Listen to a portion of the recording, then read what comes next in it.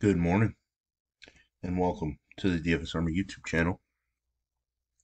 I am Razzle11 and you can find me on Twitter at Razzle11Grinds. Going to take a look at some pitching for today, uh, the 28th of July.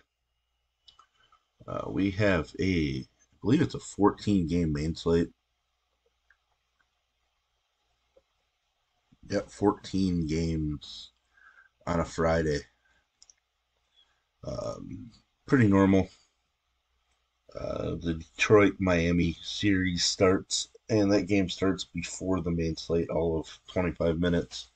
Um, I, whatever. I hate 5:40 Central Time start, but uh, that's their choice. So um, we're gonna dig in weather-wise. Um, some rain in Atlanta, maybe St. Louis. Uh, potentially Colorado and Baltimore, but uh, nothing looks too terrible right now. Uh, we'll just pay attention as the day goes on. Uh, a bunch of locations, super hot weather. Um, one, two, three, four, five, six, eight games with 88 degree plus weather, all the way up to 98 degrees in Kansas City. Um, so there's some pretty solid hitting environments. Uh, Kansas City, 98 degrees and expected winds out to left at 14 miles an hour. St. Louis, 96 degrees with winds out to left at 15. Uh, so there's some some great hitting weather in the Midwest. Um, so let's dig in. My first look here, initially pitching wise, uh, there is a lot of names.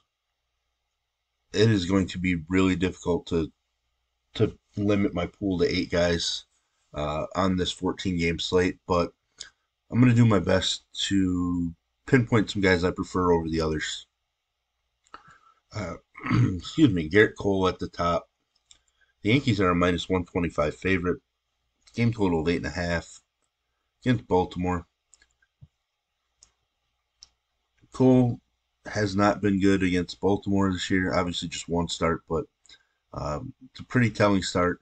The nice thing to see in on the road is just three home runs allowed in 48 and two thirds innings. Uh, big difference compared to his home numbers. Um, I think he's a sneaky option for us. I, I don't think people are going to want to pay 11K for him against Baltimore. Uh, he has double digit strikeouts in each of his last two starts. Uh, getting an extra day of rest yet again. Uh, they've kind of been able to stretch him out, um, get him some additional rest uh, over his last few starts, which I think is going to come in handy in the second half for a guy like Gerrit Cole. So I, I am intrigued just because I, I feel like he's not going to be overly popular on this slate. Not that I think anybody's going to be super chalky, uh, because of the names that we have available to use on this slate. Uh, Kevin Gausman, a minus 205 home favorite. He has been at his best when at home. Uh, his K rate is absolutely ridiculous at home, uh, allowing a home run just every 12 innings or so, uh, which is great to see. Did allow four home runs his last start in Seattle, which is kind of out of nowhere, uh, still went for 20 plus DK points. Hasn't been as dominant, I guess, over the last month and a half or so, um, but he's still capable of just racking up strikeouts. Uh, the Angels have guys that will strike out.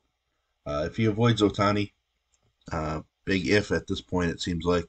Uh, I think he has a route to uh, an excellent performance and he might be my favorite spend up pitcher for GPP purposes at this point. Uh, McClanahan has not been as strong on the road. Uh, has had some hiccups recently, uh, dealing with some back issues, etc. He is going to be somebody I fade, which is really uh, tough for me to say because I am a huge McClanahan fan. Uh, I think his long term upside is just through the roof. Uh, but I just don't like the way that he's thrown. Uh, Houston's been playing better. Uh, Alvarez is back as well, so uh, they're kind of getting to be full health. I think Altuve is back, so I'm going to fade McClanahan on the road against Houston. Uh, looking at the Vegas numbers, it is a pick 'em. Um, eight and a half total, low enough, but uh, I do have to make some decisions here at the top. So McClanahan's going to be the one guy that I for sure leave out at this point. Logan Webb at home, uh, different pitcher when he's at home. Uh, great ballpark, coming off an atrocious start against Washington. Uh, decent bounce back spot. Uh, Boston is is full of left-handed hitters, etc. So uh, I'd like to see it look into his splits even more. But he's a minus 145 favorite in a game with a seven and a half total. Seven and a half is going to be the lowest on the main slate by a full or um, not quite a full run. Uh, San Diego game does have an eight total, but um, but anyways, there, you know, like we mentioned with the weather, there's a ton of great hitting spots.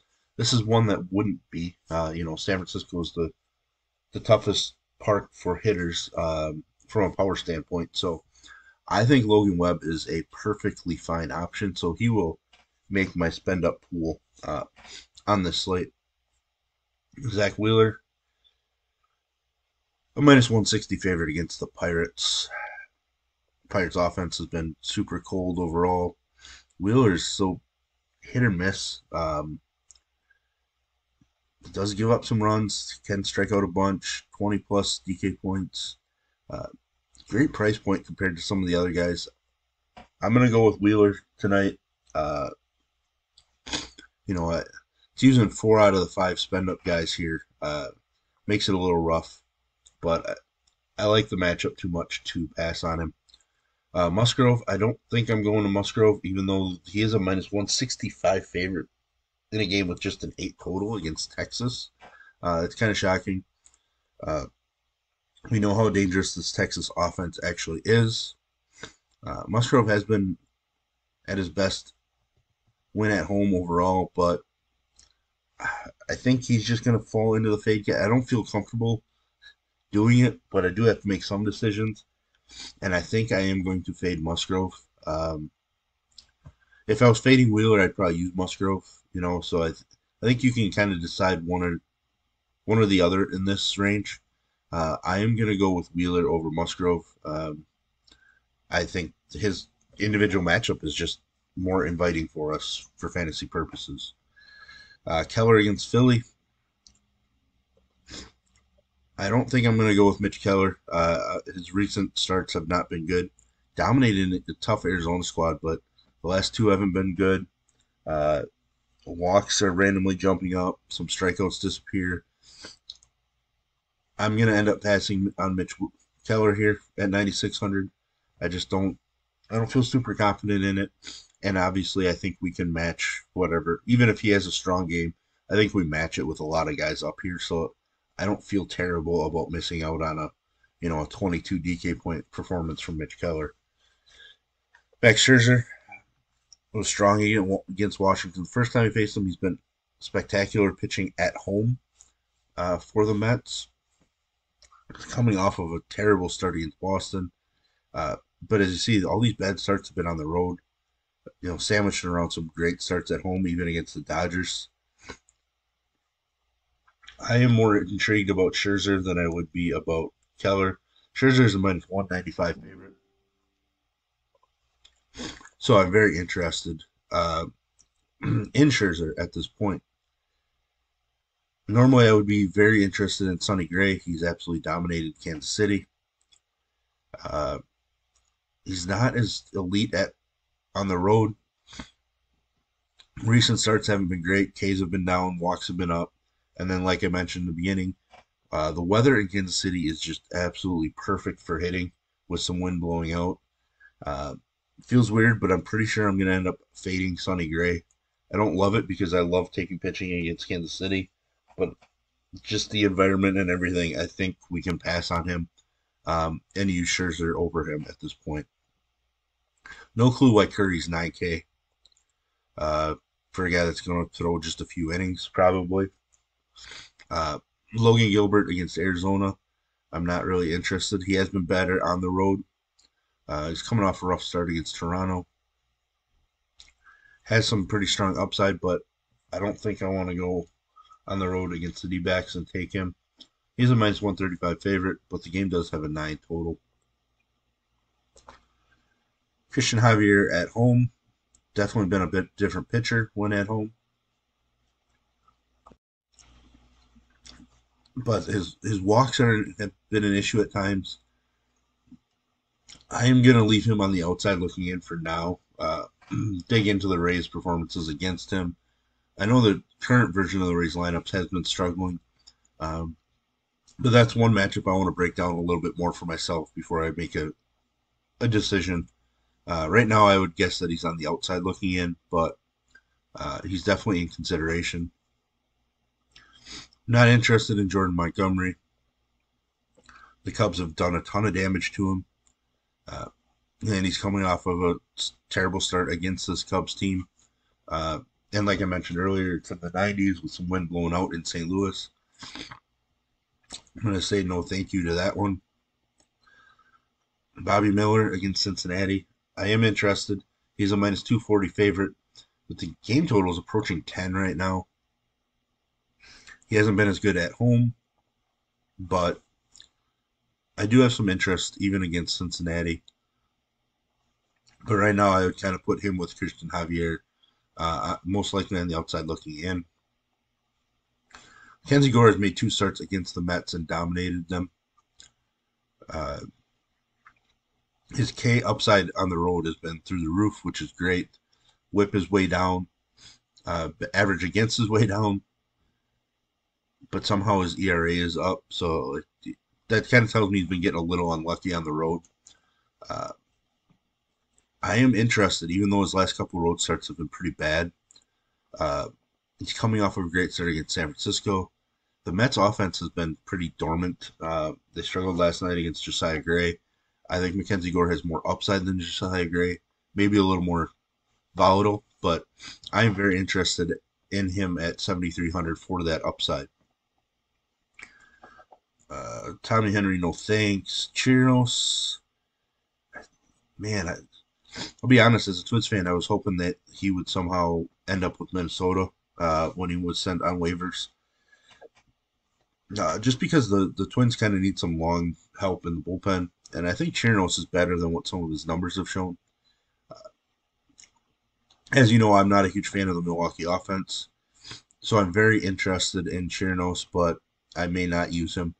He just doesn't have a ton of K upside, despite having some nasty stuff on the mound he's one of those guys that you know he's similar to like Dustin May, where you or Brusdar Graterol. You see him with the massive movement and you know 98 plus, and you wonder why they just don't pick up strikeouts. They just they allow too much contact for their stuff. But uh, Kutter Crawford pitching in San Francisco, I'm intrigued. Um, low game total. I do worry about him against some of the San Francisco hitters. So I want to dig into some splits for both sides, but I am interested in this ballpark. Uh, so Kutter Crawford, intriguing. You know, he went into Wrigley and absolutely dominated the Cubs. 32 DK points. Uh, his best performance by far. He does have multiple 20 plus performances, so he does have enough upside uh, for us in our build. So uh, right now, he's probably my favorite spend down option on this slate. Uh, no thank you to Singer, Grayrod, maybe. Um, God, he's been so bad in Baltimore. He was solid against Tampa Bay, looked really good against the Dodgers, and then fell apart in the sixth, I think it was. Um, we know the Yankees lineups have struggled, so maybe Rodriguez might just have a huge ceiling, uh, but be super volatile. So I don't mind mixing him into your pool, but uh, no real interest in anybody down here uh, at this point based on matchups, etc. So there we have it. There's that first look. If you enjoy what I bring to you, please hit the like button, hit the subscribe button, turn the notification bell on, get the alert anytime we drop videos. If you want to join us and at DFS Army, get access to everything. I'll put links in the description below. You can use promo code RAZ, it's R A Z, for 10% off monthly. And as always, best of luck, everybody.